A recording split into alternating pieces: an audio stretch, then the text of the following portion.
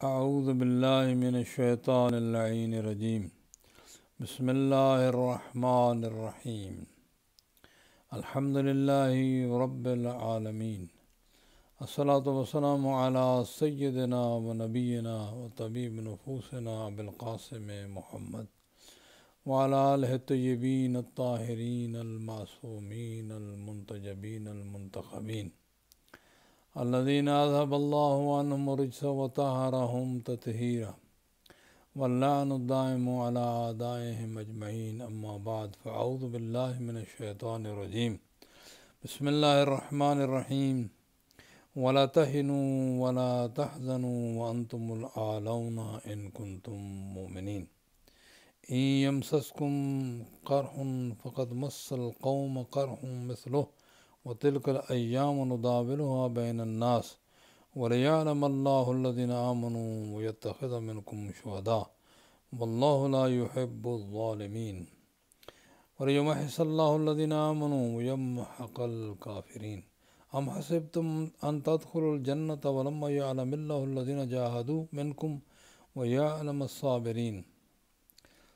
सदकल्ला मौलाना नज़ीम व सदक रसूलकरीम वनहनवालमिन शाहिदीन व शाकिरीन अलहमदिल्ला रबालमीन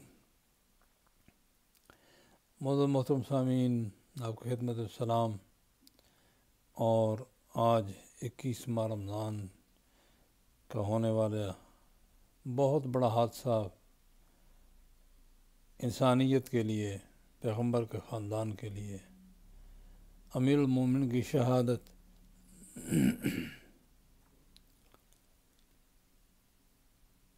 आपकी खिदमत में ताज़ियत पेश करता हूँ। वक्त के इमाम की खिदमत में ताज़ियत पेश करता हूँ। अल्लाह ताला हम सबको ये इस मुसीबत पर सब्र और अजरता फरमाए।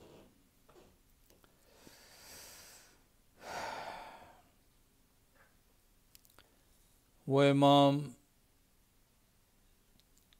जो हुजूर के बाद सबसे बड़ा नमाजी, कुरान का कारी, मुत्तकियों का इमाम, सब्र रज़ा का में इमाम। इंसानियत के लिए ताकि कोई ये न कहे कि अली के कपड़े अच्छे हैं, अली अच्छे खाने खा रहे हैं। अपनी ज़िंदगी में एक गरीब तरीन यही कहा जा सकता है। इंसान की तरह लिबास पहना, अपनी खुराक को रखा, अपनी ज़िंदगी को बिल्कुल एक आम आदमी के लेवल तक रखा, सिर्फ़ इसलिए कि अल्लाह के मखलूक में से, इंसानों में से कोई ये ना कहे। ऐसे भी इमाम इस तरह कत्ल होने चाहिए। कि ज़ाहर में बुझी हुई तलवार। इसने इसी इब्न मुलजम मलून को जब पकड़ कर एक दफ़ा लाया गया, इसकी बातें सुनी, किसी ने और पकड़ कर लाया गया और इमाम सलाम ने मकान की छत से पूछा, ये शोर क्यों है? कहने कि ये आदमी ऐसी गुफ्तगु कर रहा है जिससे पता चलता है कि आपको कत्ल करने का इरादा है।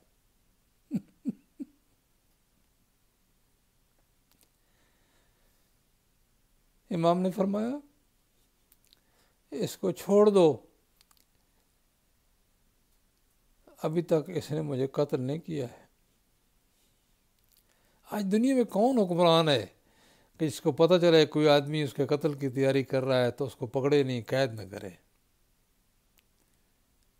रसूलुल्लाह का अब क्या अल्फाज यही है? सौ फ़ीसदी सीरत तय्यबा में चलने वाला जिसका दावा है कि पैगंबर के सहाबा जानते हैं कि मैंने एक लम्हा भर के लिए भी पैगंबर की सुन्नत की खिलाफ वर्जी नहीं की। लेकिन पैगंबर के बाद ऐसी तब्दीलियाँ आ गईं कि अली इब्न अबी तालिब को अलैहिस्सलातु वसलाम को ज़ाहर में बुझी हुई तलवार से कत्ल करना उनके लिए आसान हो गया। जहनों को बदला गया। अली सलाम को एक आम आदमी की तरह लोगों के सामने पेश किया गया। इस पर काम हुआ। और सिर्फ़ फिर मौलाली नहीं, बल्कि सारे ख़ानदान को, उनके बाद इमाम सलाम को, फिर इमाम सलाम के साथ जो सलूक किया गया, इंसानों के साथ वो सलूक नहीं होता। ये पैगंबर के घराने के साथ ये सलूक किया गया, जिनको पैगंबर सबके सामने सबके सामने जिनके फ़जाइल भी बयान फरमाते थे, इनकी अजमत को बयान फरमाते थे, लेकिन कलमा पढ़ने वालों ने पैगंबर की बातों को न सुना। बहरहाल, मैं ताज़ियत पेश करता हूँ, मैं चंद जुमले कुरान की तफसीर के मुतल कहता हूँ।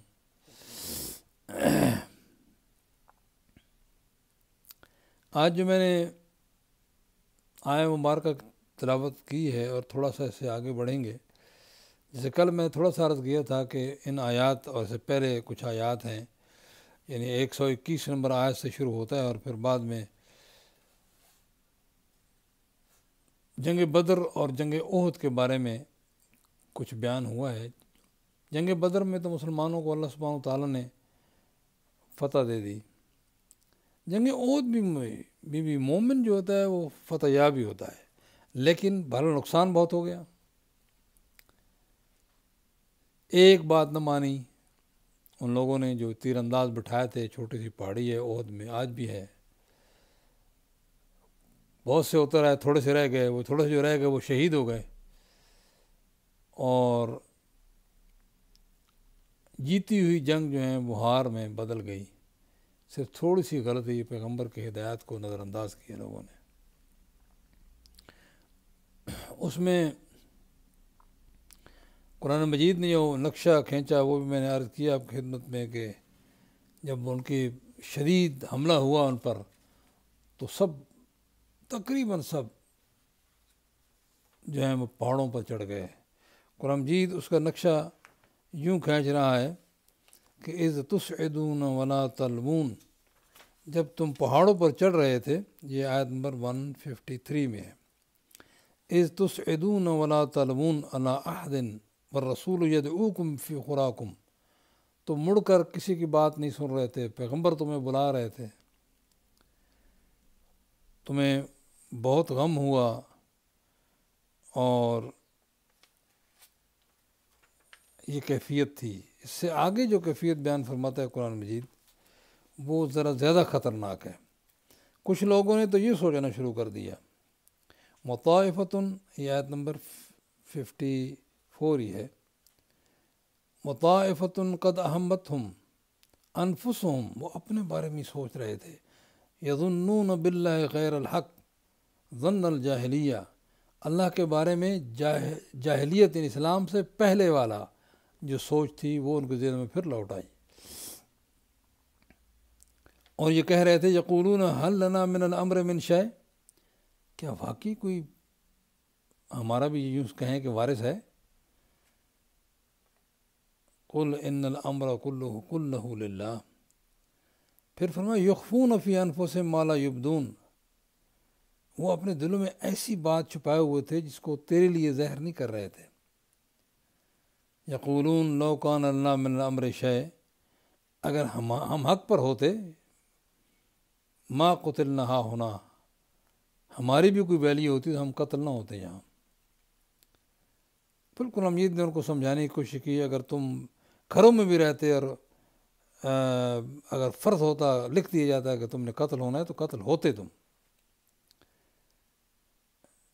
ये तो जो तुम्हारे दिलों में है अल्लाह ने उसको जहर कर दिया कि तुम्हारे दिलों में क्या है। अब ये वो लोग हैं, हज़ार आदमी निकले थे हुजूर के साथ सल्लल्लाहु अलैहि वसल्लम। तीन सौ वापस आ गए, सात सौ रह गए थे। तारीख में है ये बात। सात सौ में वो लोग रह गए थे। ये उनकी हालत, उनमें से कुछ लोगों की हालत जो बयान फरमाया ताफ़तुम असल जब तक इंसान ख़ुद अपने जहन को दलाइल के साथ, दिल दिमाग में न बिठाए फ़ौर मान तो लेता है, लेकिन फिर उसके बाद भी काम करना पड़ता है। मुसलसल अपने ऊपर नज़र रख के और अपनी असलाह करना पड़ती है। उस जंग में दो सोचें हुई। एक ये सोच, हाय काश कि कोई इनको बता दे कि भाई हम अबू सुफियान को बता दे, हम तो तुम्हारे साथ नहीं लड़ना चाहते। इधर जब सब चले गए और पैगंबर जो हैं वो ज़ख्मी हो गए, शैतान ने ऐलान कर दिया कि पैगंबर शहीद हो गए हैं। और ज़्यादा जो बचे थे उन भी कमज़ोर हो गए, लेकिन सिर्फ़ एक आदमी जिसके जहन में सोच पैदा हुई कि अगर हुजूर शहीद हो गए तो मेरी ज़िंदगी का क्या फ़ायदा, उसका नाम है अली अबन अबी तालिब। जिसकी तलवार ने जो है बार बार वो टेढ़ी भी होती थी, सीधी भी करते थे तो इस मौके पर जनाब जब्राइल तलवार, हुजूर ने अपनी तलवार दी और जनाब जब्राइल लेकर आए, जिसको जुल्फ़कार मशहूर है। और बल्कि ऐलान भी किया, आसमानों में लोगों ने सुना भी सुना भी है कि ला फ़तः अली, ला सैफ़ जुल्फ़कार। ये जंग उहद का ही वाक़ है। और फिर अली बिन अबी तालब ने ये सोच कर कि जब हुजूर शहीद हो गए तो मेरी ज़िंदगी क्या फ़ायदा? ऐसे लड़े के दुश्मन के पाँव खड़ गए। सलाम अली तेरी ज़ात पर। ये होती है फदाकारी, रसूल पर जान निसारी। और इस जानसार का आज शहादत का रोज़ है। बहरहाल। कौन कौन सी बातें बयान की जाएँ? तारीखों को बिगाड़ा भी गया, मगर अली की इन फजीलतों को वो बिगाड़ ना सके। तो इस मुश्किल के बाद मुसलमानों के घर घर में जो है वो मातम बिछ गया। कोई ज़ख्मी शहीद हो गए, सत्तर के करीब शहीद हो गए, सेवेंटी के करीब। मैंने कल भी याद किया था, हज़रत अली को, खुद हज़रत अली को तकरीबन साठ के करीब ज़ख्म आए। इतनी शदीद लड़ाई हुई। और इसी ओद में जब जनाब सैदों को मदीने पता चला कि ऐलान तो ये हुआ ना कि ज़्यादा शहीद हो गए हैं, वहाँ से अजीब अपनी चादर उनकी खत खींच रही थी। दौड़े दौड़े पहुँची और जब जंग ख़त्म हुई तो वालद ग्रामी को वो चेहरा दुलवा रही थी।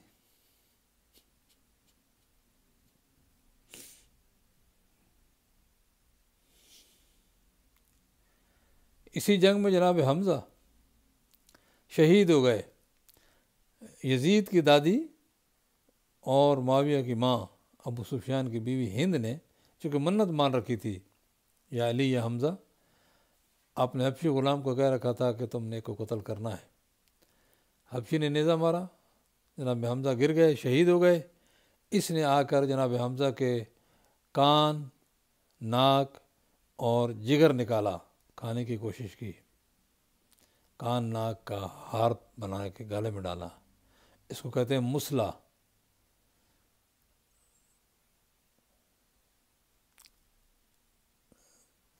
जनाब सफ़िया ख़ातून। जनाब जनाब हमज़ा की बहन थी, उन्होंने कहा, या रसूल अल्लाह पता चला उनको भी मेरे भाई हमज़ा शहीद हो गए, वो आई। ज़रा दूर खड़ी हो गई। पैगाम भेजा, या रसूल अल्लाह मुझे इजाज़त दें।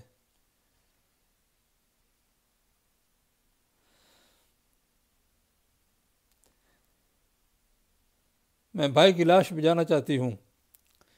पैगंबर ने पहले तो मना फरमाया और कहा कि हमजा की लाश ऐसी नहीं है कि तुम देख सको। दोबारा उसने दरख्वास्त भेजी, इस बहन पर भी सलाम हो, जो पैगंबर से इजाज़तें पूछ रही है। जब दोबारा पैगाम आया तो पैगंबर उठे, उठकर जनाब हमज़ा की लाश पर चादर दी और उनके पाँव चादर छोटी थी। कद लंबा था, पाँव पे मट्टी डालना शुरू की।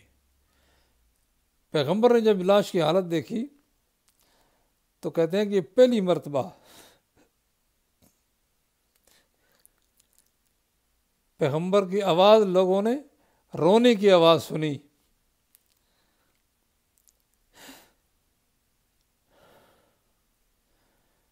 अगर पैगंबर आज कूफे में होते तो उनके रोने की आवाज़। यकीनन कूफे के लोग सुनते और करबला में होते तो पैगंबर की चीज़ें लोग सुनते कि लोगों ने उस हुसैन को कैसे कत्ल कर दिया और किस तरह उसकी लाश का जो है वो घोड़े दौड़ाए। ये कलमा पढ़ने वालों की कैफियत हो गई थी। ये ऐसे नहीं होती। ये पहले हुक्मरानों ने कलमा पढ़ने वालों को बैत से अलग कर दिया। बैत इतना अलग किया कि उनके लिए बहुत आसान हो गया।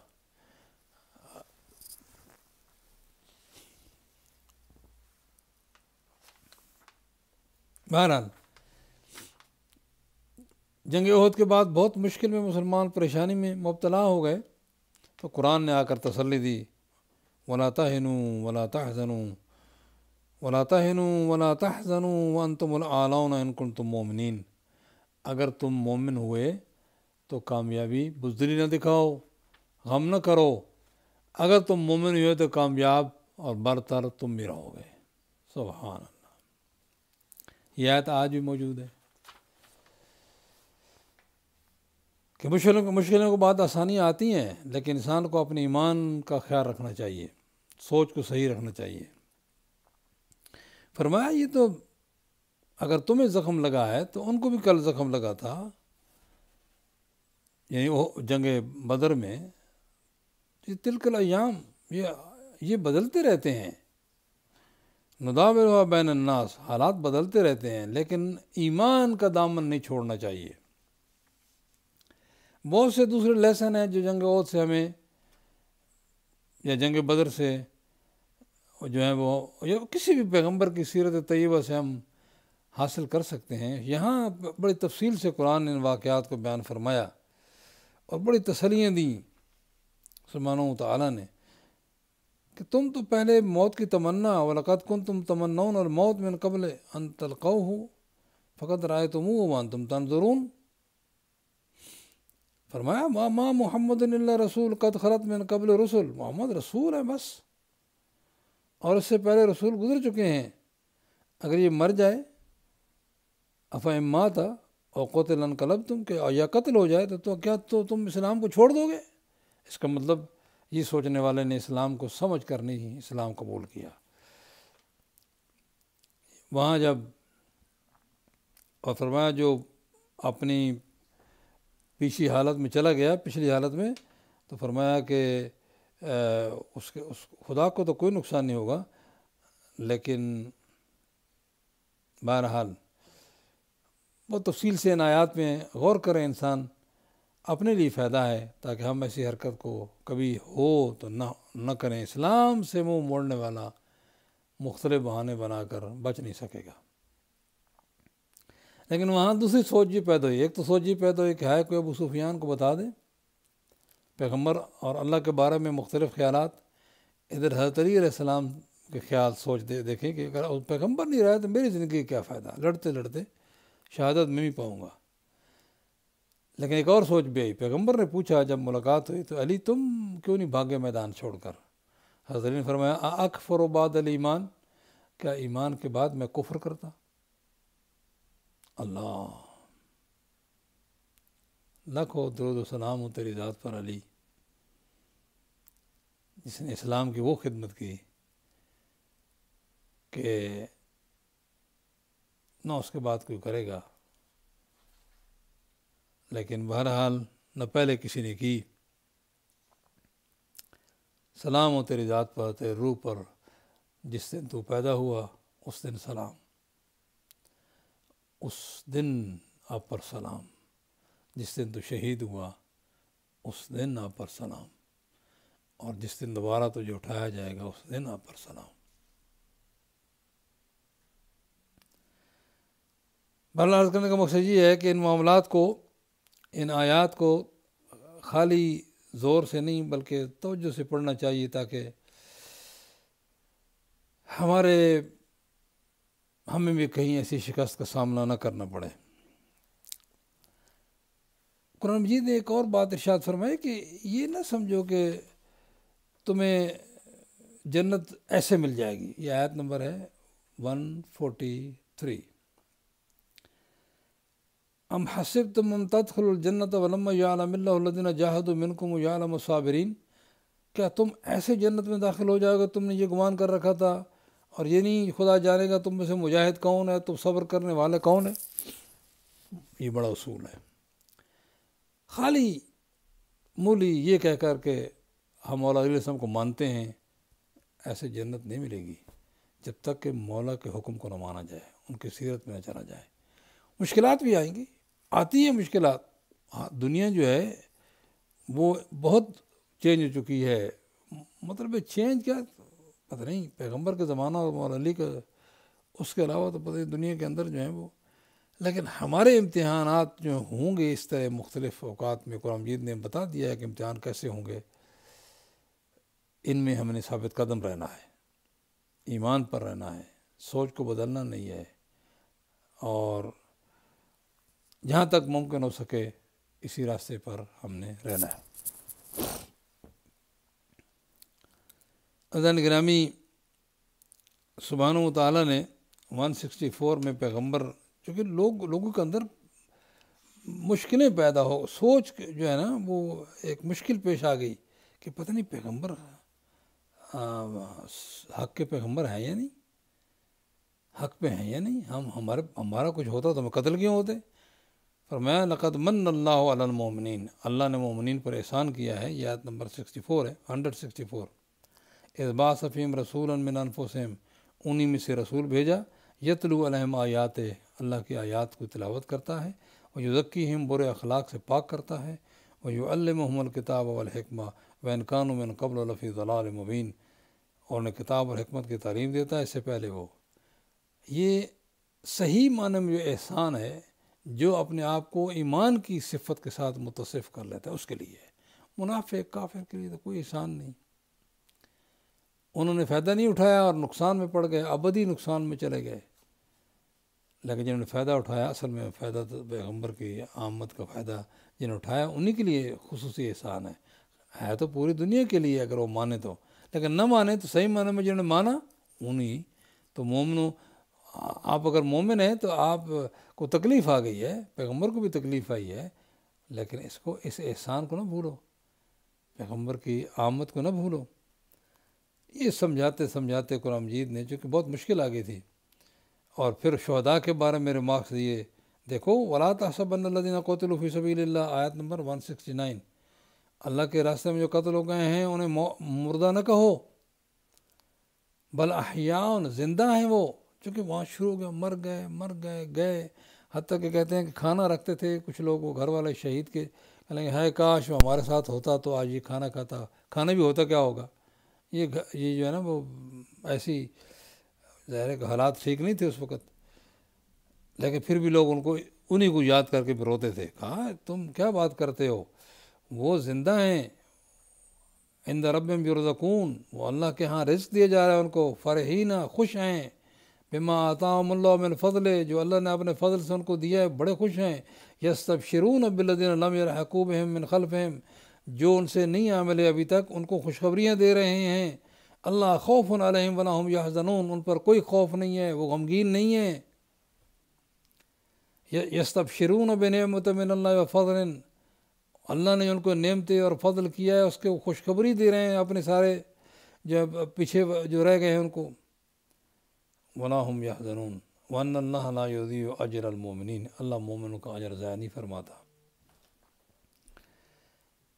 बहरहाल ये है वो चीज़ जो अगर कहीं मौका मिल जाए और ऐसी सूरत हाल हो तो शहदा का मकाम बहुत बुलंद है लेकिन शहीद और शहादत तब मिलती है जब बंदा मोमिन हो सोच सही हो डायरेक्शन सही पे चल रहा हो ऐसे नहीं है कि जो जो भी मरा, ना उसकी सोच सही है, ना अमाल सही है, बस ये शहीद हो गया जी वो। शहादत जो है, आज जिस तरह मुसलमानों की मौत आम है, इसी तरह जो है वो शहादत भी आम कर दी गई।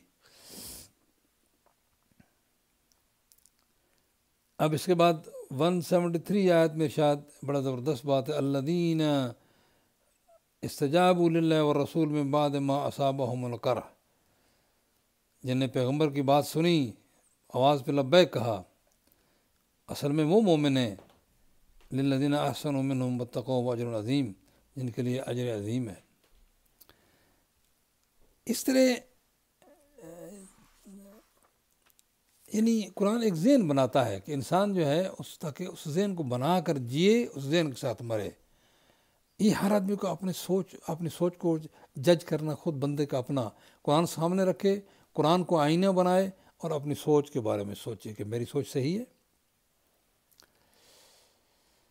अल्लाह अकबर, शैतान डराता है अपने दोस्तों को, यानी मौत से डराता है। मोह में नहीं डरते। इससे आगे आया मुबारक है जिसको, जिसमें फरमाया कि आया नंबर 178 है। वला यासब अन्नदिन कफरू अन्नमा नुमलिन खैर अनफुसहम जिन्हें हम काफिरों को जिनको मोहलत दे रखी है ये ना समझो कि उनके लिए अच्छी है इनमा नुमलिन जजदाद इसमा अगर वो आज बचे हुए हैं तो हम उनको मोहलत दे रहे हैं ताकि वो ज़्यादा गुनाह कर लें वन हम अजाब महीन उनके लिए जलील करने वाला अजाब है इस आय मुबारक को जब यजीद ने मज़ाक उड़ाया जनाब ज़ैनब सलवत का? उस वक्त जनाब जैनब में रोती हुई आँखों के साथ शाम के दरबार में कहा, यजीद, वला अन्नदिन कफर व नमा नबलम खैर लियानफुसम इनमा नमलम यजदाद इसमा वलम अजाब महीन। तो तो इस वक्त हमारे नौजवान, मेरे जवानों को शहीद करके, मेरे भाई को शहीद करके तुम खुश हो रहे हो, लेकिन ये याद रखो, ये खुशी बहुत आरदी है। तुम्हें एक वक्त जो है अजाब मुहिन का सामना करना पड़ेगा। सुबहान अल्लाह सुबहान अल्लाह लाखों सलाम हूँ जनाब ज़ैनब की ज़ात पर कि जिन्होंने कितने मसाहबात जो हैं वो बर्दाश्त की हैं। माँ को रोते हुए देखा, माँ का पहलू ज़ख्मी देखा बाबा के सर को शगाफ्ता देखा, भाई के जनाजे से तीर निकाले।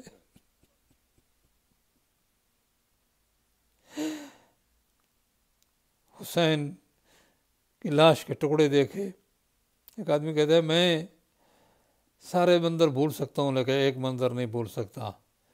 जब बहन भाई की लाश पे आई, वहाँ औद की बात अगर याद रहे कि जनाब रसूलुल्लाह जनाब सफ़िया खातून को इजाज़त नहीं दे रहे थे। और फिर जब इजाज़त दी तो अपनी चादर ऊपर उड़ा दी ताकि सीना चाक न देखे और मुसला शुदा लाश को न देखे। हाय लाखो सलाम हूँ, हुसैन तेरी जैसी मुसीबत और जैनब तेरे जैसा आज़ादार कोई नहीं। कि जब वो भाई की लाश पे आई तो सबसे पहले एक सवाल किया अंत आखी हुसैन? क्या तू मेरा भाई हुसैन है?